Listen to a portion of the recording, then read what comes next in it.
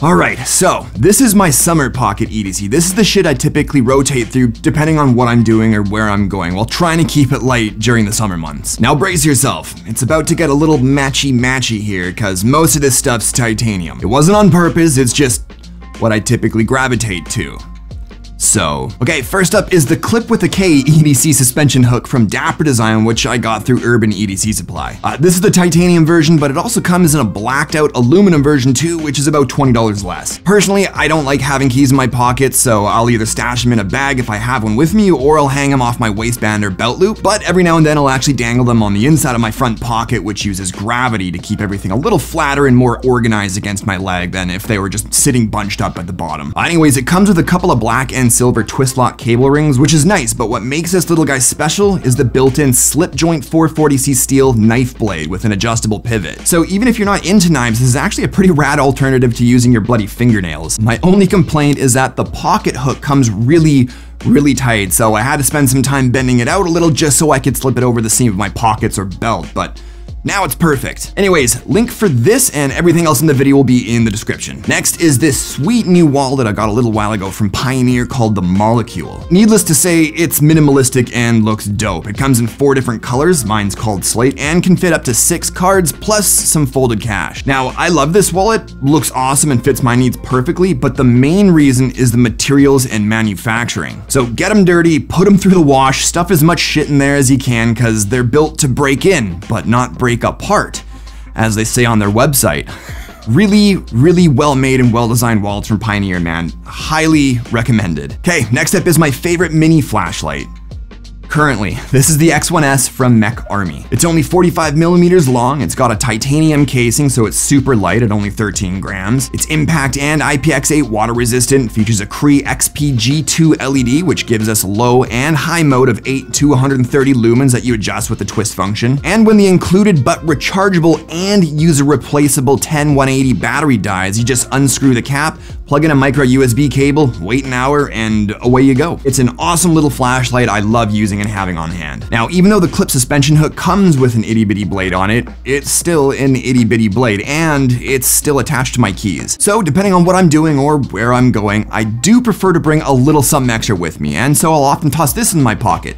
This is the CRKT EROS 2. It's actually a really sweet little knife that I paid way too much for, but still love. It was designed by Ken Onion, who love him or hate him, He's a well-known knife maker. There is a 3-inch model of this knife with the same machine titanium scales, but this is the 2-inch model, which also has a plain stainless steel version for much less, and it's way easier to find.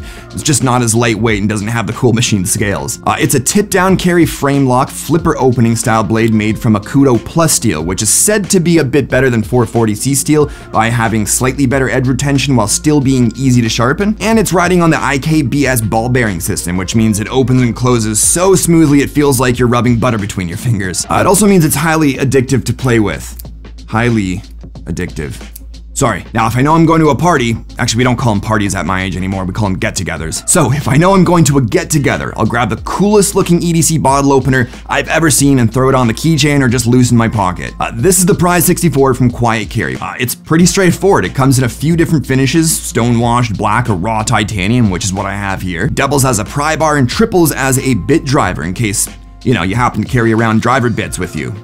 Uh, but yeah, it's pretty sweet looking, at least I think so. It works as intended, although that shouldn't be hard to do given the tasks it's intended for. All right, now let's say I don't need or want to bring an extra knife or bottle opener with me. I've already shown this in my last video, but the TPT slide, which I got directly from BigiDesign, is something I'll slip in in my pocket instead because it's a 5-in-1 tool that has a utility blade and bottle opener. Well, it doesn't come with a utility blade, it actually comes with this funny unsharpened package opener slash camp fork insert that I replaced immediately with a blade, but anyways, uh, it's titanium, of course. It comes in stone washed or matte black finish. It's got a little pry bar, a bit driver, and universal wrench if you take out the blade. Now, I use the absolute hell out of this thing. I've dropped it, abused it, slapped it around a little. I even spat on it, and it's still going strong. I didn't actually spit on it, that's gross. Anyways, if you're not into knives like I am, this is actually a really good and most importantly, useful compromise. Now, something you might have seen hanging off the suspension clip earlier in the video is this sweet little keychain pillbox container, which I also got from Dapper Design. And I'll usually stash some mints or allergy pills in it. Sometimes I'll bring two of them with me so I can fill both with each. I mean, they're cheap as hell, why not pick up a few, right? Okay, one piece of gear I always bring with me, no matter what, is my new number two carbon fiber pocket comb from the Chicago Comb Company. This is one of their newer releases, and in my opinion, it's the best pocket comb in the world. Like, I know it's just a comb, but because it's carbon fiber, there's no static electricity when you're combing through your hair. It's extremely durable, way more durable than the super popular and twice as expensive Kent combs I've already gone through multiples of now because they only last me a few months. Uh, the tines are deeper than any other pocket comb I've found and have perfect spacing for beards, mustaches, or head hair. And they're smooth with ever so slightly rounded tips so you don't scratch your skin or damage your hair as you pull through. And it's got this little circle for the handle that makes it easy to pull out of your pocket.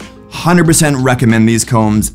Love them. So I usually don't bring out pens with me unless it's work related, like if I need to write some shit down on the back of a business card or jot some notes down. Otherwise, it stays in the car or my office. But either way, this is the TI Pocket Pro, which I also got from BigiDesign. It's a really popular pen in the EDC community for several reasons. It's titanium, it looks great, accepts over a hundred different refills and telescopes to adjust for different sizes while using an auto-adjusting collet grip so the tip doesn't wiggle around when you write. It's a really nice pen and I love writing with it. My only regret is not getting the clicky version instead. I like clicky pens better than twisty ones. Gotta love my knowledge of pen terminology, eh?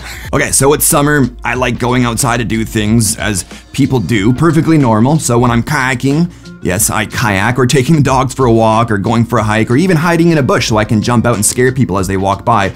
I like listening to music, you know, as people do.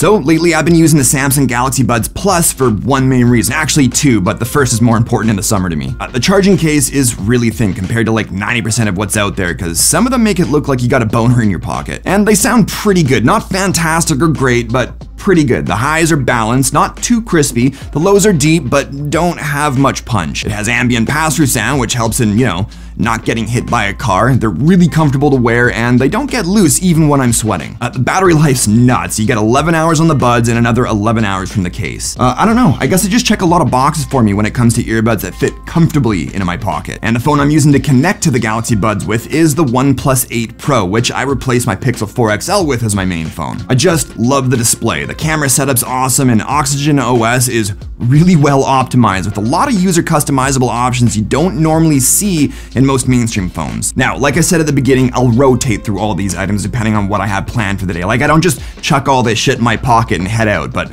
yeah, this is the stuff I'll take with me during the hot months when I'm wearing shorts or even swim shorts if I'm headed to the lake. I'll just toss what's in my pocket and my shoes before I jump in. So there you go. Uh, let me know if you have any questions or which item was your favorite, but I think that does it for this one. I hope you liked the video. If you did, maybe show me some love with that thumbs up button and don't forget to subscribe if you haven't already. But as always, thanks so much for watching and I'll talk to you all in the next one.